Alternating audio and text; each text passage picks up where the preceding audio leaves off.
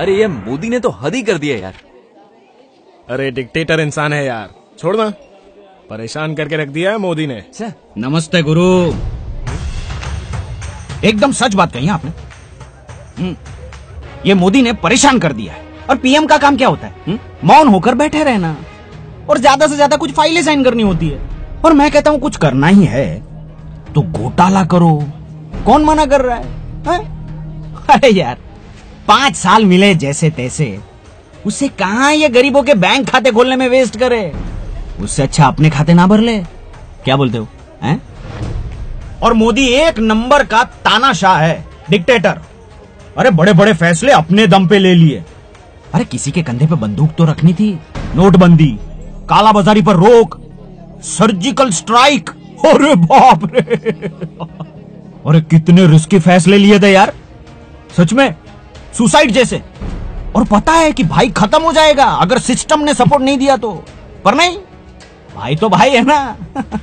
क्या ज़रूरत है सुबह पाँच बजे उठकर काम पे लगने के अरे लोगों की आदत बिगड़ रही है उनका ऐसा बिहेवियर देख के। एक तो पूरे साल में एक भी छुट्टी नहीं लेता। और दिवाली में कहा जाता है, पता है? बॉर्डर पे। जवानों से मिलने। ये पीएम मोदी एकदम बेकार है। मीडिया वालों को कॉकटेल पार्टी नहीं देता। रिपोर्टरों को फॉरेन ट्रिप पर नहीं ले जाता। अरे यहाँ तक कि आदमी को फैमिली की कोई वैल्यू ही नहीं है। इनके एक भी फैमिली मेंबर को फ्लैट नहीं, ज़मीन नहीं, फॉरेन की ट्रिप नहीं। अरे मोदी जी, कुछ तो शर्म करो, कुछ तो शर्म करो। आपने तो दुनिया में देश का नाम कर लिया। लेकिन सुना है कि उनके भाइयों के बच्चों ने अब तक प्लेन नहीं देखा अंदर से। अरे भाई, आप तो रिपोर्टर लग रहे हैं। अरे जरा समझाइए इन सबको, जरा समझाइए। कि भाई, गरीब के घर में गैस पहुँचा के और पैसे वालों के घर से गैस की सब्सिडी बंद करवा के वोट नहीं मिलते। अरे वोट के लिए तो जिगर चाहिए, जिगर। जात पात करनी पड़ती है, वोट बैंक बनानी पड़ती है। और ये मेक इन इंडिया और स्टैंड अप इंडिया से क्या होने वाला है?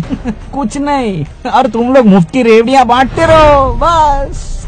भाई, नहीं चाहिए हमें। स्वच्छ इंडिया। नहीं चाहिए हमें न्यू इंडिया। हमारा ओल्ड इंडिया ही बराबर है। हम्म, एकदम। अपनी अपनी जेबें भरो सड़कों पर गंदगी करो और घर रखो चकाचक।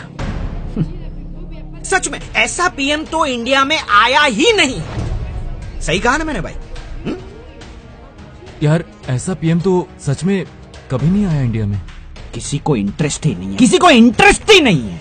लालू प्रसाद यादव को उनके बेटे को सेट करना है। मुलायम सिंह यादव अपनी पूरी फैमिली को सेट करने में लगे हैं। सोनिया जी को राहुल को सेट करना है। अरे पर ये तो सोचो कि इस देश को सेट करने में किसको इंटरेस्ट है? अगर आज मोदी फेल हुआ ना तो अगले सौ सालों तक कोई प्राइम मिनिस्टर करप्शन के सामने लड़ने की हिम्मत ही नहीं करेगा। सिर्फ़ दो हाथ जोड़ेगा और तौबा करेगा। फिर बस करते रहना। मेरा भारत महान, मेरा भारत छोड़िए यार। सर सर मुझे आपका नंबर दो ना। मैं इस पर स्टोरी करूँगा। सर आपका नाम? मैं हूँ विकास। मैं हूँ गुजरात। सेव कर लेना।